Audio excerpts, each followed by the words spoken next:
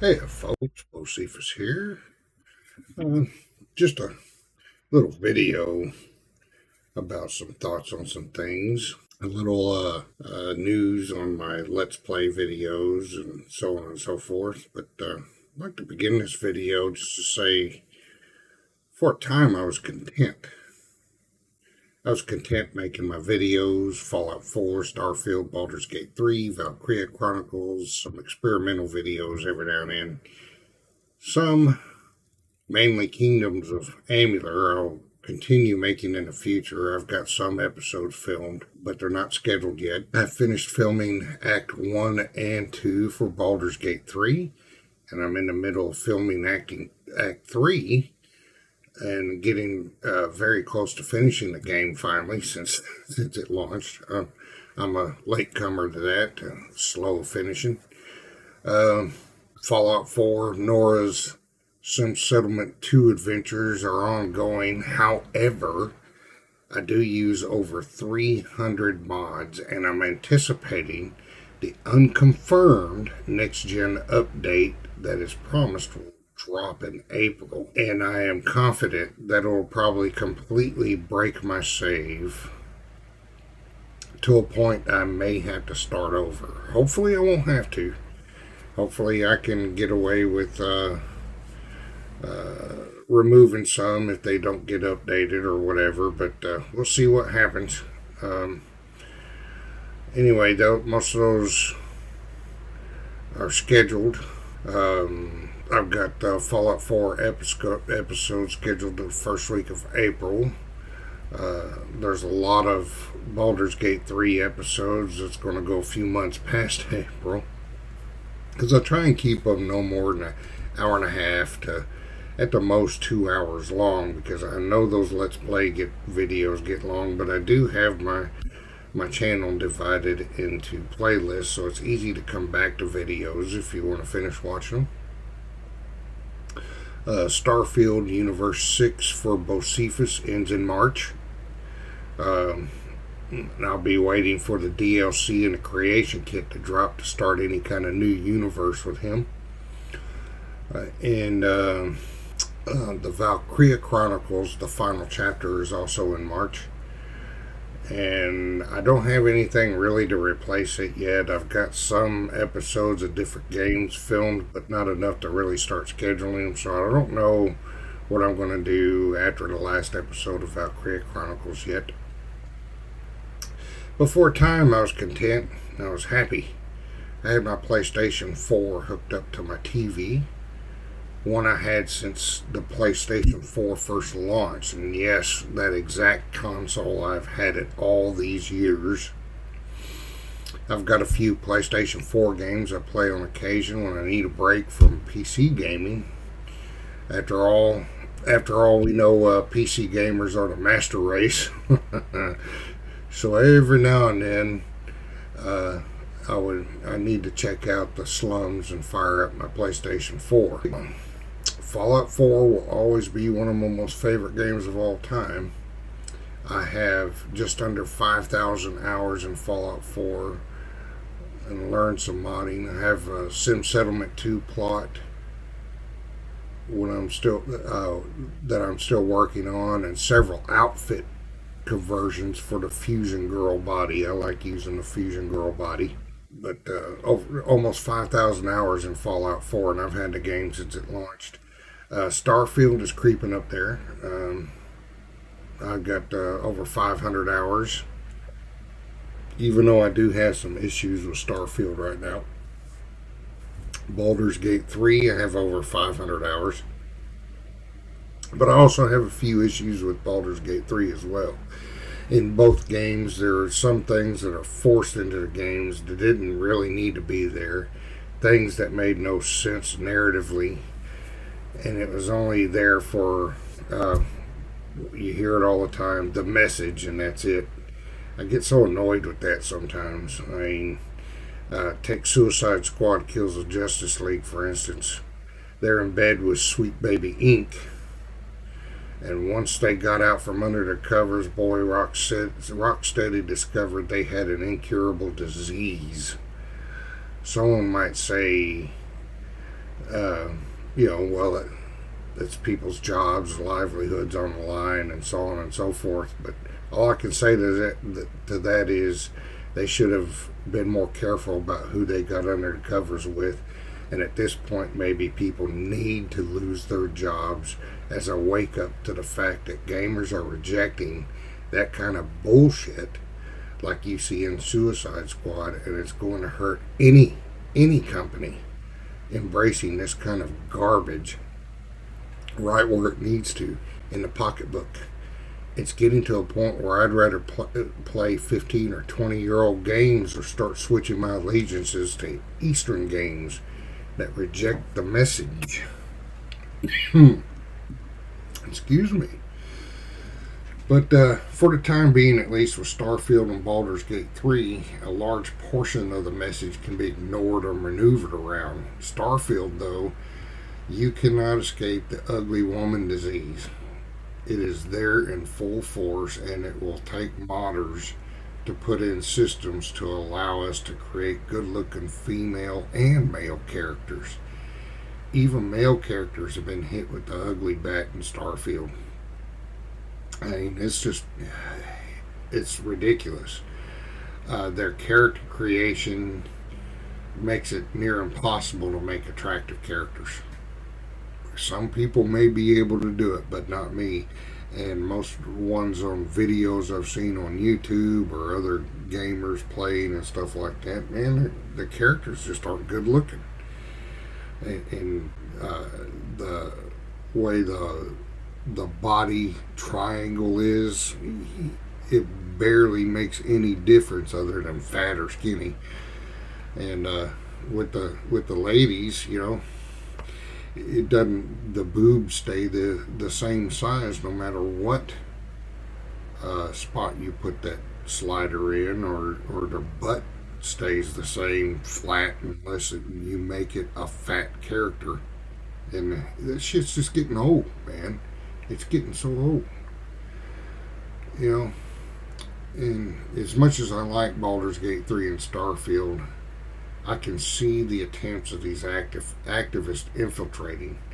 I really hope, after the example of Suicide Squad kills the Justice League, that they put the brakes on and start reversing course, or they'll crash and burn like the others that embrace the message. Bethesda, and CD Projekt Red, just the ones off, off top of my head. There are many other Western developers in bed with people like this. Uh, the DIE, gender identity politics, ESG, all that bullshit. Y'all need to, uh, you know, these devs and these companies need to wake up before uh, their companies are destroyed by these people. They just don't give a shit what happens to any of them. The devs, the companies, anything. To them, only the message matters. I'll go so far as to say it's a communist message. Part of what communists do is that they do not create. They take the things you love and destroy it to ensure your compliance. And that's what's going on.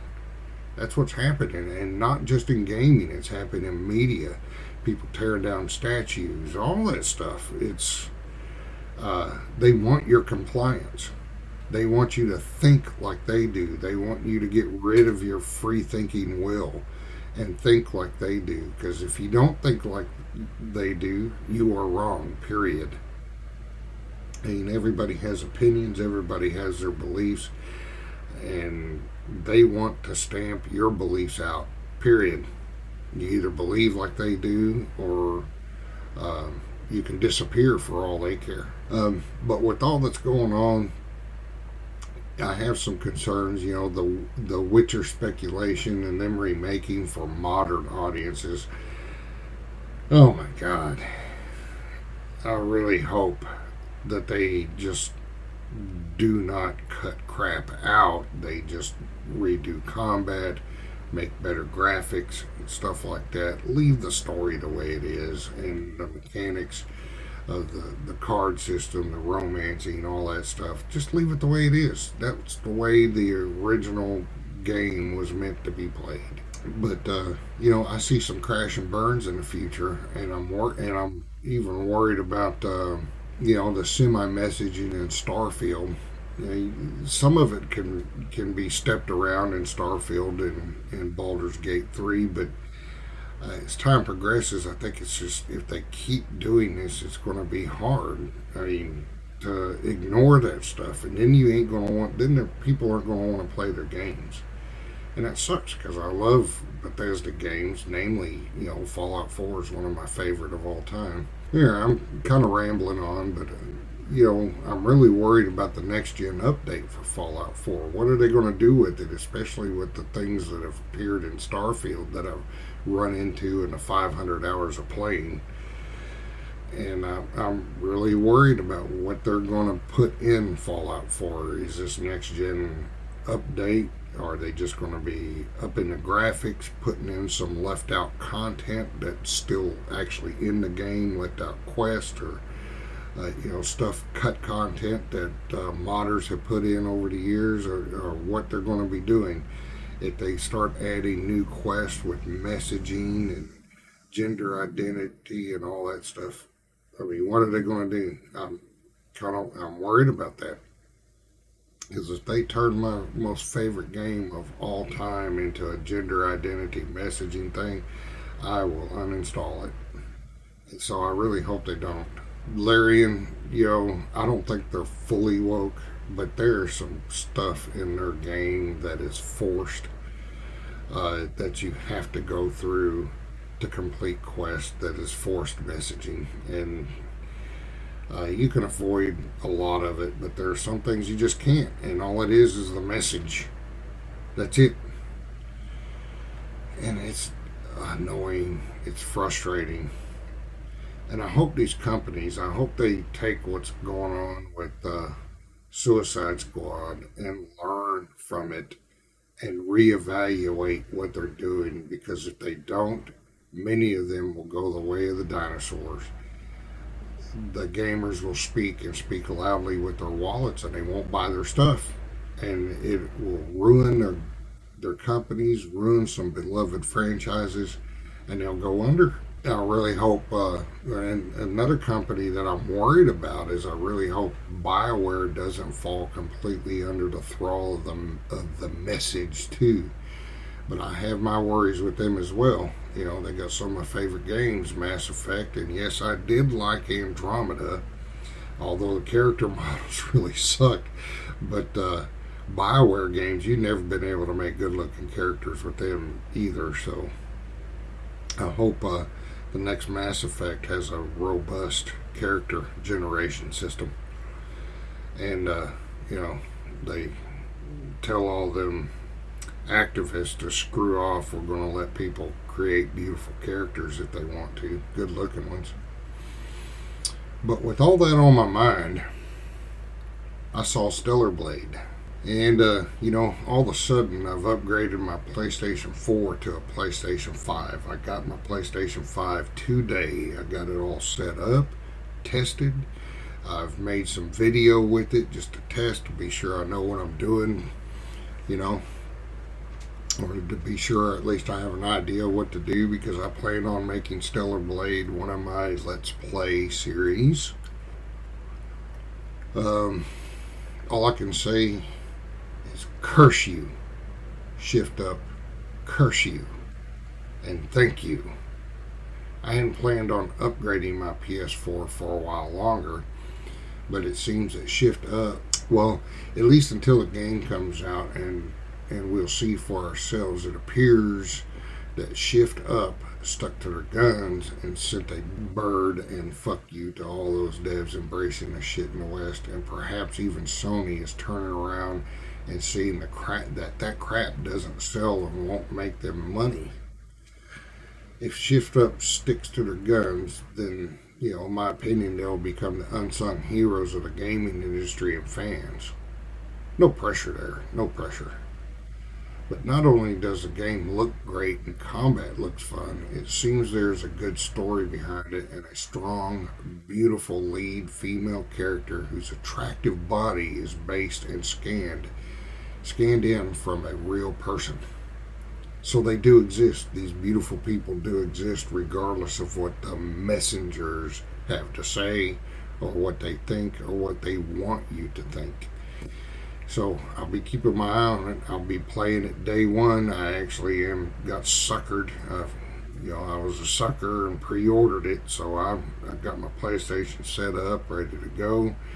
You know, I got some PlayStation 4 games. I'm glad it's uh it's backwards compatible because I got about six games for my PlayStation 4 that I enjoy playing. But anyway, hopefully it lives up to its promises. And uh, at least for now, my hat's off to Shift Shift Up and what they're doing. And I hope many other companies, not just Eastern companies, but Western companies, Western devs, look to them for an example of what we want. But that's all I'm rambling on about today. That's all I felt like saying. Be good to each other. Take care of yourself. And I'll catch you next video.